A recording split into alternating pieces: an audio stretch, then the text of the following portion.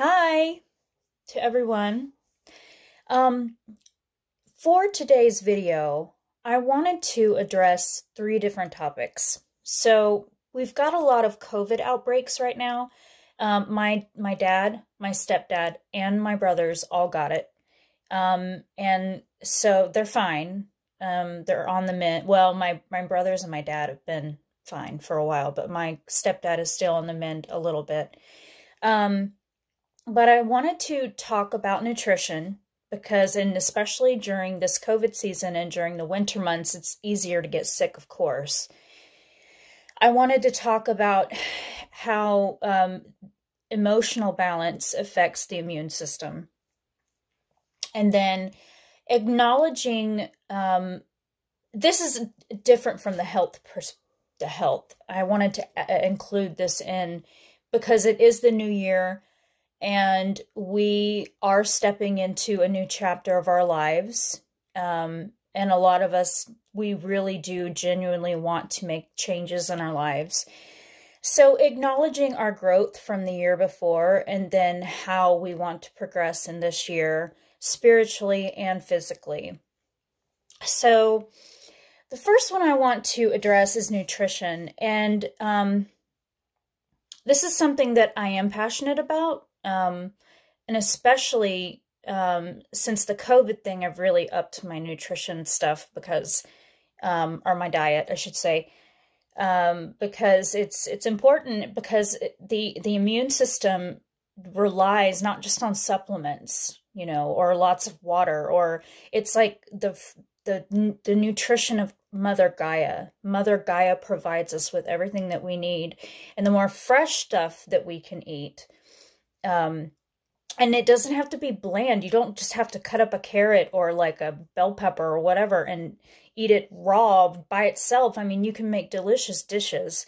And a lot of services now are are catering to this need for organic, fresh, non-GMO produce. Um, and there's even companies that um trying to think green chef what is it it's something chef um where they package meals together that you just cook up. They already have it all chopped up and everything, and it's organic, it's non GMO. So there's a lot more opportunity now than ever to take care of the body. So um, there was a few things that I wrote down that I um, that that are to my awareness, but the biggest thing is that fresh is always better. And I'm not saying be a fully raw vegan or anything like that or fully raw. Um, it, that's not what I'm saying. But the more you can, you know, like if you have eggs, you can incorporate bell peppers or um, uh, whatever veggie, uh, some green onion in there, or just that ups your nutrition level, nutrition levels, and it ups your immune, your um, your immune system. So I always, when I make every meal, I'm always like, how can I make this the most nutritious that I can make it and the most um, supportive for my body? Um, so a few things with the antiviral, antibacterial foods. Um, I I follow um, the medical medium, um, and I have a couple of his books, and I love him. And he pretty much is like a medium channeler for um, advanced knowledge about nutrition and how it affects the body and how it supports the body. And of course, it's fresh foods, it's fruits, veggies, you know, pretty much veganism. Um, stuff that's um, like the dairy, and I still eat dairy and meat, but I, I don't eat it every day, and I don't eat large quantities of them or of those foods because they are inflammatory for the body. So I stick with, I try my very hardest, to, especially during this time, to stick with foods um, that are anti uh, inflammatory, antiviral, antibacterial. Um, and then also it gives the nutrients to the body and the antioxidants that it needs um, to keep the body young, vibrant, healthy, fit, all that stuff. So, but for antiviral, antibacterial, some of the things that probably most of you already know um, is garlic and onions. And I know that's not a very popular Um, those are two foods that are not very popular for a lot of people because they make your breast stink. But there's ways around that. If you're going out to like, if you're going out to socialize, take a garlic supplement that doesn't that takes the stink out of it or whatever. Um, and then also uh, cooking those um, makes it less. But sometimes if I'm home for a couple of days, I'll eat raw garlic and onions just because the antioxidant support and the the immune support is so strong. So, um, and I am not ashamed. I'm not ashamed to say that. Um, I love food. I'm a foodie. Um, coconut and olive oils, especially the coconut oil, very, very good. And you can use this for your body as well. Um, for women who have uh, bladder, uh, I, I struggle with bladder and, or have in the past struggled with bladder infections pretty bad.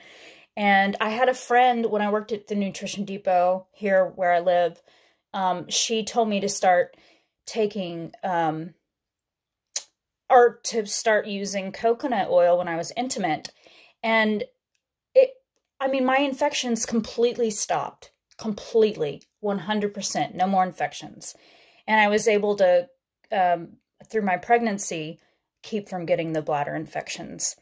Um, I learned from the medical medium potatoes are a good antiviral, antibacterial. I didn't know that. I didn't know that. But I've always loved potatoes. I just, because of the high carbohydrate, like how it spikes the blood sugar, I just, I eat them in, in their organic form. Sometimes I'll have fries, you know, fried fries. But most of the time what I do is I just bake a potato and then I put like a plant-based butter on it and some salt. And then whatever toppings um, that I like, like chives and uh, raw bell peppers and stuff like that. And then I'll just eat it like that. And it's so nourishing for me because it grounds me. A lot of the grounding, you know, the root vegetables, they're very grounding. Um, carrots, potatoes, and I do have to have a lot of grounding stuff like that. So that's good. Um, I eat raw ginger. I eat um, with almost every meal because it helps with di digestion. It's an anti-inflammatory um, and it's got of course nutrition in it. it. It's it's a root. It's a um, and turmeric, turmeric and ginger kind of go hand in hand. And I also take a turmeric supplement when I when I can.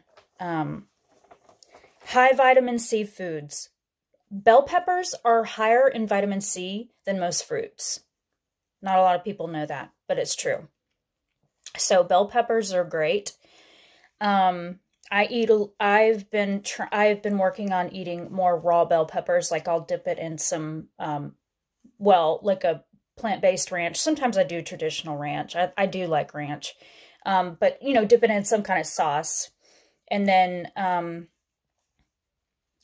you know, most fruits, apples, oranges, grapefruits, all that has its high vitamin C content. Just the more, and, and a lot of the fruits, they have more water content. Well, the vegetables too. They have more water content, especially if you don't cook them. So it's really great. Um, it's a great way to prevent and protect your body from viruses and bacteria. And of course, greens and veggies nutrient packed. Talk about nutrient packed. I eat a lot of greens. I love my greens. Um, spinach, kale, um, I mean everything. I actually use this um, company called Misfits Market, and it saves like some of the produce that are about to go bad that's organic.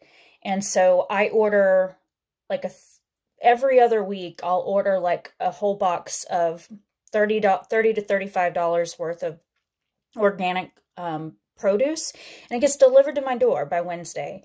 And then so I have like a couple of weeks worth of fresh produce that I can work with, um, whether it's fruits, veggies. They even have box stuff, but I try my best not to do too much box stuff. Um, I want to stick with the with the nutrition.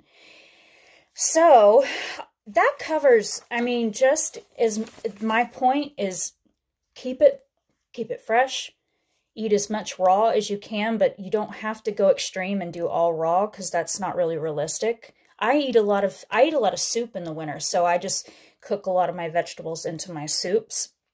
So that's good. but I um so the second thing I want to talk is, is about emotional balance. So this is this is incorporated into the whole health thing. So when we are emotionally unbalanced and we're not really checking in with ourselves, we're not um, nurturing ourselves. It's really um, it's it's a really good chance for viruses and bacteria to take over.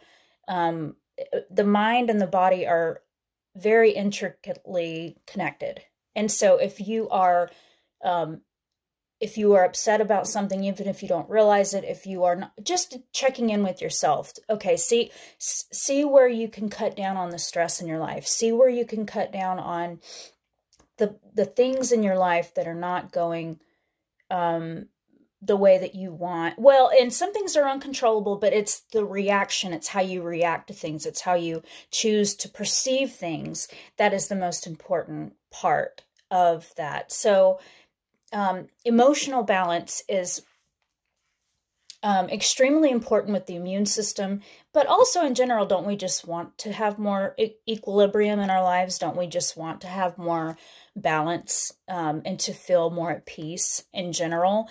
Just aside from the from the the uh, you know the pandemic that's going on right now and all the other sicknesses that are taking place this winter, you know it's very it's vitally important that not only we attend to the body, but we attend to the mind and we attend to the spirit. Okay. The third thing is is kind of um, it's related to mental and spiritual health, but it's not really related to um, physical health, you know, nutrition. Acknowledging your growth. So acknowledge the places where you learned a lot in 2021 really acknowledge that because and my therapist that i talk to every couple of weeks she um she told me to do make that an exercise to write down what it is that you are proud of in 2021 and to it a lot of times what we do is we we beat ourselves up for what we did wrong and what we didn't accomplish. But if we can reframe that and see okay or say okay how can i look at this um, in a a more um, in a more positive light? Okay i'll acknowledge the things that i didn't do so well but there's things that i did right too. And there are there was a progression there was a growth. So acknowledging our accomplishments and really being intentional about that writing it down and really processing that instead because our tendency is to beat ourselves up and to acknowledge all the things that we might have done wrong um, or wrong. You know you're not you're not you're never really wrong. I mean you're just learning. It's a learning school here on earth. Um and then just and the and I guess the overarching message of this video is just to stay connected with you. Stay connected with what lights you up.